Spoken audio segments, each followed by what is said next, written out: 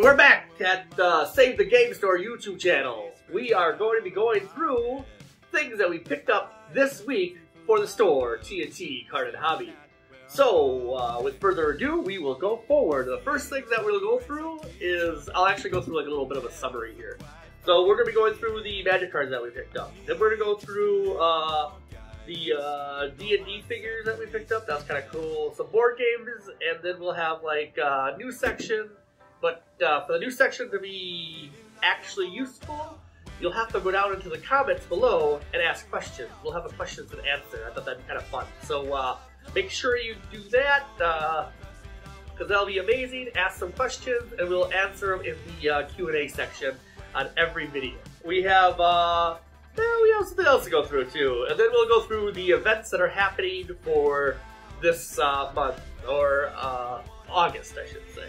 We will go, and the first uh, card that we picked up for Magic the Gathering is God, Oketra, or God Eternal, Oketra. Uh, it is a. Uh, we will put the uh, card here, hopefully, and uh, it is a uh, legendary zombie god with double strike. Whenever you cast a non-creature spell, uh, create a 4-4 black zombie warrior creature token with vigilance. When uh, God Oketra dies or is put into exile from the battlefield, you may put it into its owner library third from the top. Very cool. And then we have Luminous Broodmaw.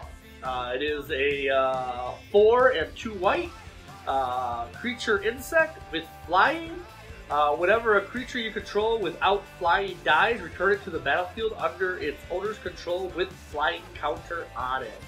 Very cool. Um, I'm going to murder this guy's name, so we'll skip the first part and just go to Magistrate. Uh, he is a uh, two drop. one of that has to be white. Uh, he is a creature, human wizard. Your opponent cannot cast spells from anywhere other than their hands. So, uh, shut down their commanders. That's not bad. and then we have uh, Zadriel, Archduke of Avernus. I murdered that last one. Sorry about that. Uh, then it is a uh, four. Two of it has to be paid with mountain. Uh, it is a legendary plan- planeswalker, Zadriel. Uh, its plus one is creatures you control get uh, plus one plus zero and gain haste until end of turn. Zero is uh, create a 1 1 red devil creature token with whatever this creature dies, it deals 1 damage to any target. Uh, and then its next 6 is you get an emblem with at the end of your first combat phase on your turn, untap target creature you control. After this phase, there is an additional combat phase. That's, uh, that's pretty nice. So, uh, if you like what we're doing, please go ahead and uh, leave comments, uh, subscribe, also, uh, don't forget to like. And uh, we do have a Patreon. The uh, Patreon can be found in the description below.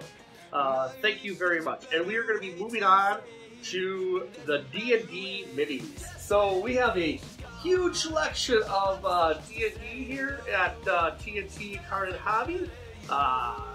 it kind of looks a little like...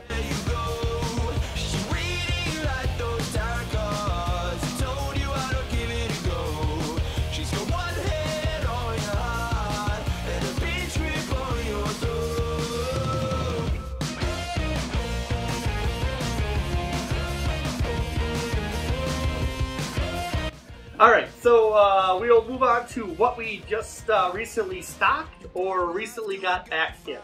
Uh, or what's new. So we got the Owl Bearers. Yes, they're very, very cool Owl Bearers. Uh, very good in most campaigns that you're going to be playing. Very nice. Uh, then we also have the Dwarven Paladin. It comes with two little minis, and they're very cool looking. So I love that. Did we show the back of the owl there? I don't think we did. So we'll show the back of the owl bear. So that's, that's really kind of a neat little thing right there. Uh, then we got the uh, air rogues. Yes, air rogues. And uh, they're very neat looking with like little archer guys. And then we picked up a kind of, oh, oh here we go. Here's another one. This is a halfling wizard. That's right, halfling wizard. Very cool. He's uh, very nice. I like him a lot.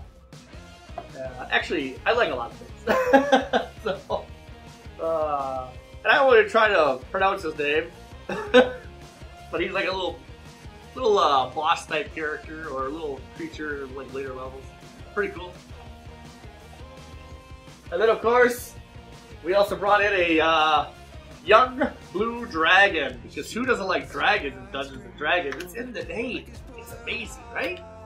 Very cool. Very cool. So that is kind of what we picked up for D&D. Uh, very neat. I hope uh, this will be showing up on the camera, but I'm all by myself again, so it probably won't. so there is that. We will be moving on to the board games. Oh, yes, we picked up a couple board games. I did a whole video, but we scrapped it because I didn't like it. So this is for the uh, the zombie side. So we put in uh, Zombicide Second Edition here. Uh, zombies came from nowhere. They destroyed the world. We used to know a few brave, ordinary people uh, took up arms against this infected horde, survived the roaming cities, looked for supplies, pay back, and the fun of zombies. So it's kind of a nice little uh, party game. Uh, it's a co-op game where you are all together against the board, which is something I could get really behind because I love co-op games. Uh, we got this one right here, uh, second edition. We also have uh, Zombie uh, Side uh, Invader. Uh, so that's like a futuristic uh, sci-fi one. Think I would think Doom. and then we also have the classic Night of the Living Dead. So these are these are very neat, very neat. I love I love these. Very cool. And then we picked up Dune Arrakis. So uh, Dune Arrakis of the uh, Fremen is a brutal cutthroat game about tribes of controlling Arrakis. Before the events of the uh, novel of Dune, each player controls a tribe of uh, Fremen warriors struggling to gather sacred resources of Arrakis, developing weapons and uh, for their needs of survival and harnessing the power of sandworms for battle. Will your tribe prevail, or will they vanish into the desert? Probably got eaten by the sandworms. so uh, this would be the section that we would answer your uh, questions uh, in our Q&A. So uh, in the future, let's uh, get down to those comments. Let's start asking some questions because then I can actually start doing this part of the video, which should be a lot of fun. Uh, but since we have no questions and we have no answers, we're going to be moving on. And then we'll be moving on to the best football game ever. That's right, it's Blood Bowl. It's uh, brutal, it's nasty, and uh, some people might lose some heads. And let's go ahead and just throw that football or head around. That's right. we lose the football, we can use someone else's head. so, this is the uh, second edition of this game by uh, DW, Games Workshop. And then we also have from them, and in the same type of uh, vein, we have Dungeon Bowl. That's right, it's football, it's dungeons, it's everything you love including a lot more vicious and uh, vile. so uh, these are really cool. I really want to play the Dungeon Bowl. That, that looks amazing. And then we also have Horus Heresy for Warhammer. Uh, come in. Uh, we have a couple of these in stock. They're pretty amazing. Uh, so, if you have any Warhammer needs, we have you covered here. Uh, we will do a uh, small flyby of our Warhammer stuff right now. Very cool, huh? That was pretty awesome. We got paints, we got Citadel, anything that you need. We only have a few other things that we got in. Uh, this is, uh, we got some sleeves in, a ton of sleeves. Uh, we have a lot of sleeves here to choose from. I prefer the Dragon Shield, so that's what I carry because they're very strong. Uh, and we also got in Killer Bunnies. And last, but not least, we have got Rick and Morty Dungeon and Dragons. That's right, everything you like from Dungeons and Dragons turned on its head because, well, Rick's involved.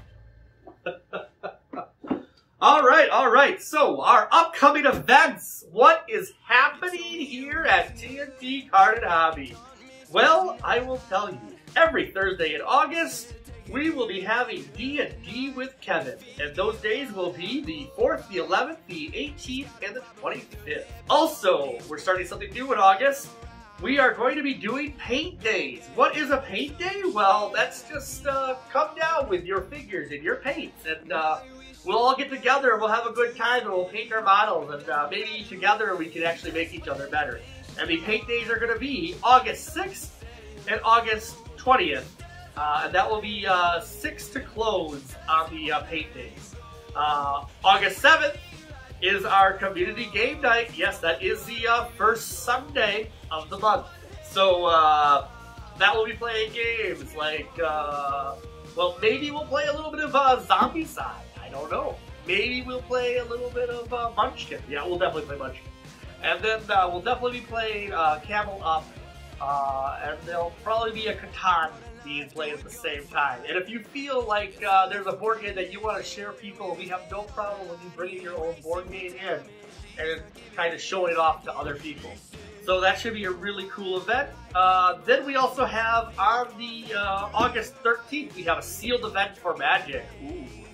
More information on that to come. And then uh, August 27th, uh, we have the $5 draft, and that is just to make people get aware of what draft is. It's only $5 to get in. It should be a lot of fun. It lasts about uh, four to five hours. Uh, and that will be a wrap.